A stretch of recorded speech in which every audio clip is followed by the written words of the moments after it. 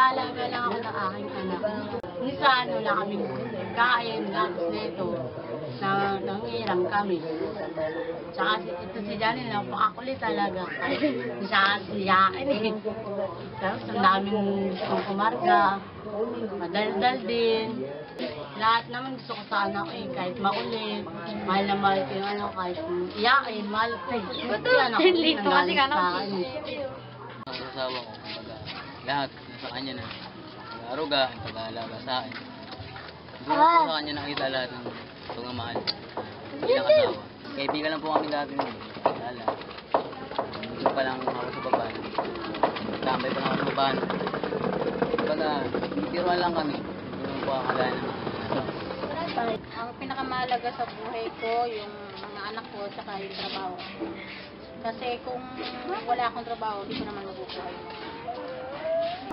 Bali, may anak ko sa una, dalawa. Pero wala na sa akin. Yung dalawa ko ngayon, pangalawa, nasa akin. Isang grade 11 at saka grade 6. Anong dumating yung anak ko? Nag, nagsama-sama yung pari, apat ko yung anak. Nagbanding kami.